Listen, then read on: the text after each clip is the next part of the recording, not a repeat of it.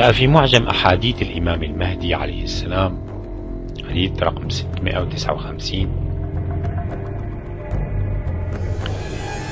في حديث طويل قال فيتقدم المهدي من ذريتي فيصلي إلى قبلة جده رسول الله صلى الله عليه وآله ويسيرون جميعا أي المهدي وأصحابه إلى أن يأتوا بيت المقدس ثم ذكر الحرب بينه وبين الدجال وذكر أنهم يقتلون عسكر الدجال من أوله إلى آخره.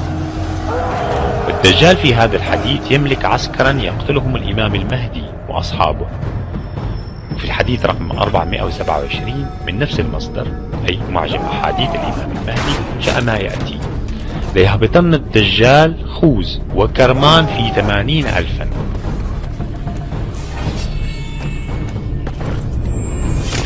وهؤلاء الثمانون ألفا بعض جيش الدجال على ما هو راجح أي أنهم ممكن أن يكونوا غير أولئك النازلين في بيت المقدس In our investigation, we discovered that some of Satan's soldiers are also high-ranking officers in the United States military. Here at San Francisco's Presidio Army Base, for example, Lieutenant Colonel Michael Aquino led a double life as a satanic high priest. The colonel's cult is listed in the San Francisco telephone book, and his phone answering machine boasts of his affiliation. This is the Temple of Set. The temple is the only international satanic religious institution fully recognized by the United States government. Indeed, the Army does officially recognize Satanism as a legitimate religion and supplies chaplains with this guide for ministering to the satanic soldier. Yet unofficially some charge that Army bases have become sanctuaries for devil worshippers. Just last month, under a full moon, I took a midnight tour of the Presidio grounds with police investigator Ed Abanovsky. Are you saying that there was a satanic cult active right here on the Army base? Yes, we believe so. There's evidence to substantiate that. They had uh, satanic rituals going on. There's an altar in there, and all of the graffiti on the wall would indicate that. Let's see if I can see it. How'd you find this place? This is a uh, fortification during World War II. During World War II, where they had uh, gun batteries. I can see a pentagram painted on the wall. I can see the words Prince of Darkness. On this wall, I see several inverted crosses and other obvious uh, satanic ritualistic paintings or symbols. Joseph, we've agreed to conceal your identity, but you are an officer in the United States Army. That's correct. And you were an officer in the United States Army during the time you were a member of this satanic organization. Yes. Did the authorities at the Presidio know that a satanic organization was active on their base during the time that you were a member? They were very much aware of it, yes. The present base commander, Colonel Rafferty, says that today at least, I know of no satanic activities whatsoever in this area. Satanism may be a constitutionally protected religion. But similar to another recent case at the United States Military Academy at West Point, here charges surface connecting ritual child abuse at the Presidio Daycare Center to the devil cult. It was here, parents and others allege, that as many as 60 young children were ritualistically abused by soldiers of Satan. What actually was done to the kids? Uh, oral copulation, sodomy, uh, defecation, uh, they were urinated on. On why those charges were brought against you? Well, the entire time that uh, the so-called child molestation scandal was occurring at the Presidio, the time period when um, uh, these terrible events were supposedly taking place, I was assigned to the National Defense University in Washington, D.C.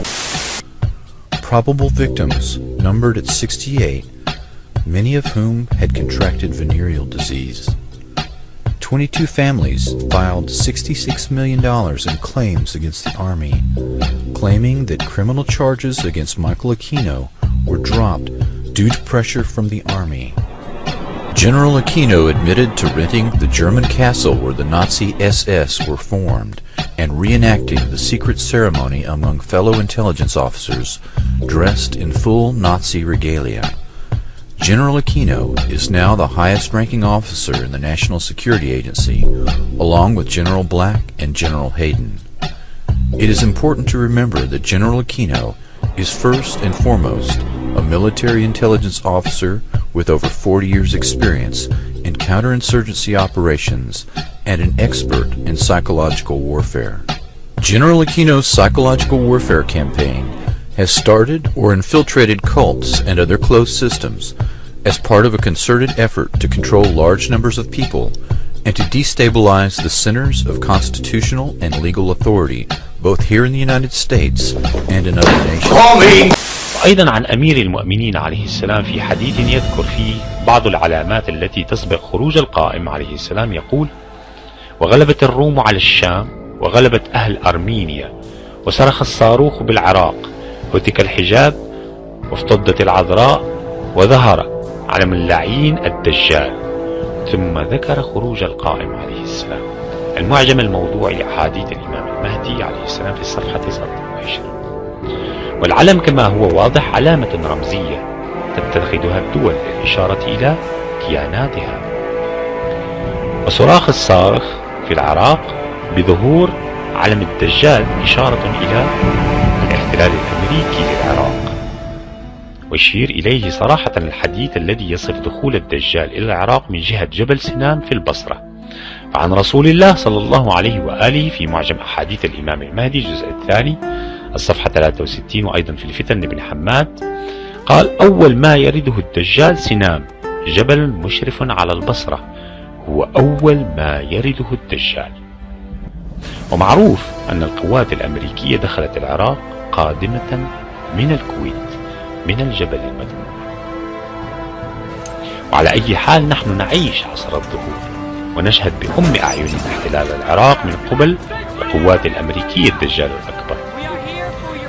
كما أن المعرفة بالسياسة الأمريكية توفر لنا فرصة نادرة لفهم المراد من التعبيرات الرمزية التي يوصف بها الدجال من قبيل المسيح الدجال الأعور الدجال وكونه يأتي معه جبل من خبز أو جبل من طعام وجبل من نار. حماره خطوته كذا ميل بين أذني حماره آه كذا ميل في جبهته كافر ينادي فيهم إلي أوليائي أنا ربكم الأعلى. فالرئيس الأمريكي بوش من المسيحيين المتدينين أو لنقل ممن يظهرون التدين بالمسيحية. وقد صرح في خطاباته كثيرا بأن الحرب التي يخوضها ضد الإسلام حرب صليبية وبالخصوص الحرب في العراق بل صرح علنا أن ما دفعه لحرب العراق رؤية رأى فيها الرب سيد المسيح حسب زعمه يأمره باحتلال العراق final question. Yes, sir. You said famously, when you looked into Vladimir Putin's eyes, you saw his soul. Yeah. When you look into Benedict XVI's eyes, what do you see? God. Good way to end the interview. Thank you, sir. Thank you, sir.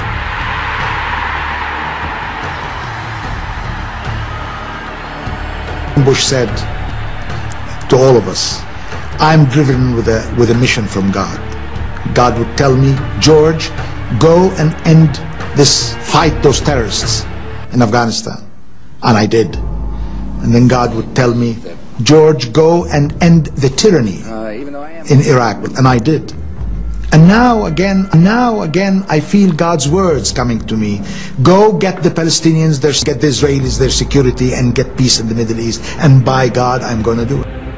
وأكثر من هذا فهو كان يدعي في بعض ما صدر عنه أنه مأمور من قبل الرب بتأديب شعب الخطيئة في بابل ولعل العبارة الأخيرة مقتبسة من الإنجيل وهي واحدة من علامات ظهور المصلح المنتظر. وأما أن الدجال أعور فلأنه لا يرى إلا بعين المصلحة المادية. وإن ادعى ما ادعى من حقوق الإنسان والمصالح الشعوب وإلى غير ذلك من المبادئ التي يسوقونها لخداع الناس. ومعلوم أن السياسة الأمريكية وغير خفي على الناس. لا تحسب حسابا لأي شيء عدا مصالحها المادية. فجبل الخبز أو جبل الطعام هو تعبير رمزي عن القوة الاقتصادية. وحالة الرفاه المادية التي تستخف بها أمريكا أتباعها. وجبل النار واضح أنها ترمز إلى القوة الحربية الفتاكة التي تخيف بها الحكومات والشعوب. التي نسيت أن لا قوة إلا بالله والحمار هو طائراتها أو باخراتها ووسائلها التي تسرع بها وتسارع بها لاضطهاد الشعوب. وكل من يقف أمامها يقول لها لا على سياستها ومبادئها وأما الأذنين فهي ترمز ربما بكل وضوح أظن إلى المخابرات. Compartmentalization of memory was what the government was interested in because they figured that if a person couldn't think to bring to mind abuse, they wouldn't be able to think to bring to mind government secrets, government perversions, or anything else they wanted compartmentalized in the brain. My experience as a mind control slave on a White House Pentagon level was extreme. Yes, I would, Ted. Um, it's real scary for me, but I'd like to um, go on public record saying that um, my owner under mind control was um, Bob Hope, and that um, I was abused and used as a mind control sex slave by Ronald Reagan and a lot of different presidents, LBJ, Reagan, Ford, and um, I was programmed to have computerized um, mind files by Henry Kissinger, um, where I was used as an operative within the intelligence faction of the government, um, targeting people that that he and Nelson Rockefeller um, had an agenda to bring in certain individuals into the fold, they called it, to work and on behalf of the New World Order. And so they used me to manipulate and blackmail people in order to bring them in. سمو الروحاني آه إيه سمو الروحاني ده آه راح اتعلم في الهند صلاح نصر. الشذوذ الجنسي. في بلد اسمها كاراجوا إنهم يسيطروا على الناس الرجالة والستات يتشبعوا جنسيا عشان خاطر يخدموا المخابرات. في مم. ألمانيا قالوا له كده. عجبتهم الحكاية دي عجبته الحكاية وطبقها على نفسه مم. وما ولا واحدة من اللي هو عمل لها كنترول مم. فادت المخابرات طب يعني علاقته القوية و... و... و... و... ده. كل ده قبل ما يتسجن أنا فاهم هل بقى هو هل ممكن يكون ليه دور في قتل سعاد حسني هو اتسجن ليه؟ امم هو اتسجن ليه؟ اتسجن عشان بيبيع البنات بتاعت مصر بناتنا وشرفنا بره سيطروا على سعاد حسني. وبيدوهم فلوس. آه سيطروا عليها ومين تاني من الممثلات يعني أنا مش عايز أقول لك يعني معظم ال- الممثلات. امم مش كلهم معظمهم. معظمهم. امم اني رئيس سابق. مبارك؟ مبارك؟ امم أنا بستغرب أنا بستغرب إزاي يعينوا يبقى وزير الإعلام وهو واخد سجن مسجون ومطرود من المخابرات ده مش مخابرات. مم. أنا ما بتكلمش عن المخابرات. مم. المخابرات كويسة جدا الحمد لله. مم. لكن ده مش مخابرات. اترفد وطلع. إزاي يبقى وزير؟ وزير الإعلام ومسيطر على الصحافة. كل شوية يهددني بالقتل ويخلي الصحفيين يشتموني. ده بهدلوني بهدلة. ما عندكش فكرة يا أستاذ. ما عندكش فكرة اللي اللي اتعمل ما. ما كانش فيه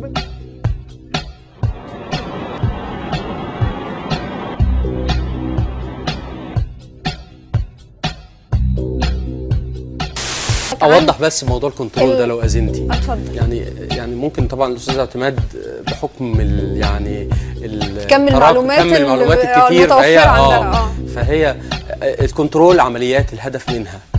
آه، اللي أقنع بيها صلاح نصر آه، زعيم جمال عبد الناصر يعني في ذلك الوقت إنه من الممكن إن إحنا نستخدم عدد من الفنانات المشهورات واللي ليهم أفلام و في آه، آه، في آه، إحضار معلومات محددة. عن تحركات عدد من المسؤولين والأمراء العرب والقادة العرب اللي بيجوا مؤتمرات مثلا زي مؤتمر يعني أكتر كلام